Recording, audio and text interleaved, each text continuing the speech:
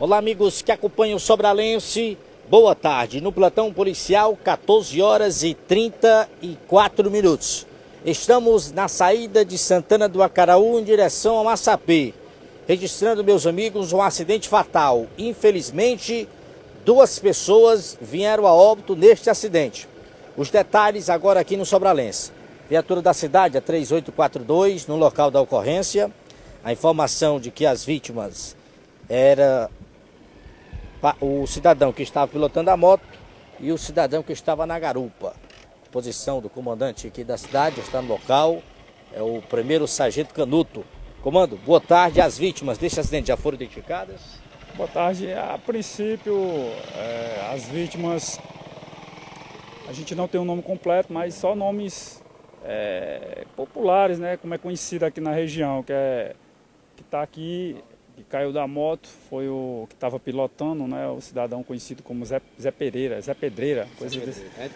E o outro que foi atendido ainda com vida para o hospital, mas veio a óbito, segundo informações, é um cidadão chamado Teles. Mas a gente já está correndo atrás da, das informações mais precisas para a gente passar para as autoridades. Foi passada alguma informação se as vítimas são aqui mesmo da cidade? Eles não são da cidade, eles são da zona rural de Santana do Acaraú. Ali é Engenho, Engenho Velho, localidade de Engenho Velho, próximo ao Parapuí. E aí os familiares já estão sabendo, já estão tomando as providências, já foi acionado o CIOPS, juntamente com a PRR, Rabecão e a perícia para os procedimentos cabíveis. Passada alguma informação de como aconteceu o acidente? Se perderam? Segundo informações de populares que os mesmos vinham de Santana, sentido Parapuí. Aí chegou aqui nessa curva, você vê que é um curvão, e eles perderam o controle e, e colidiram com um poste. E aí aconteceu é, essa tragédia.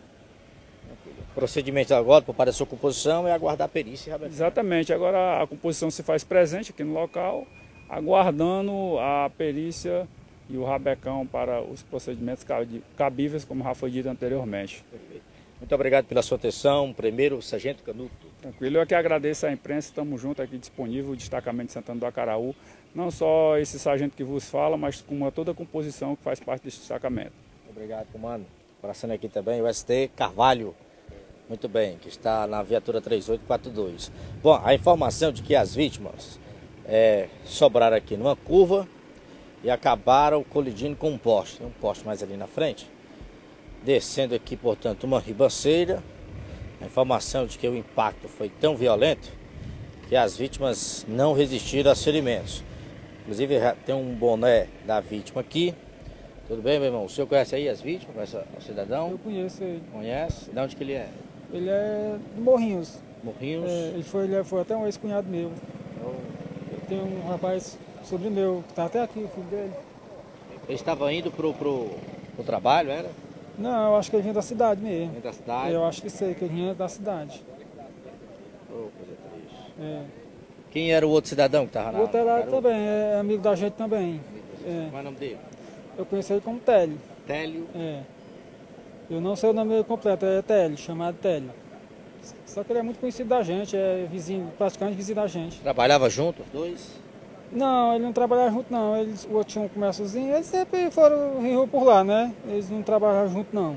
Ele aí é aposentado. Aí o outro é agricultor, né? Só que tinha um pequeno comérciozinho. E era na cidade fazer o quê? Você tem alguma informação? Não, não, não sei. Não sei. Eu já soube agora há pouco tempo também que ele tinha chegado, acontecido isso aqui, não sei. Não sei se ele recebeu o dinheiro também, que ele é aposentado, né? E tira aqui às vezes, né? Pode ser também, não sei. Só sei que ele é muito conhecido. É um ex-cunhado meu. É assim. Uma fatalidade o que aconteceu. Né? A mulher original dele é do Morrinhos. Aí ele. Foi uma fatalidade mesmo, né? Tudo bem.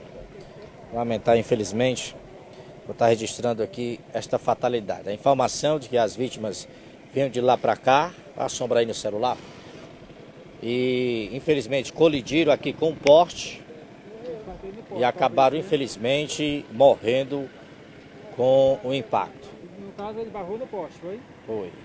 A informação de que a perícia já está, portanto, se deslocando aqui para o local da ocorrência para a realização dos procedimentos periciais.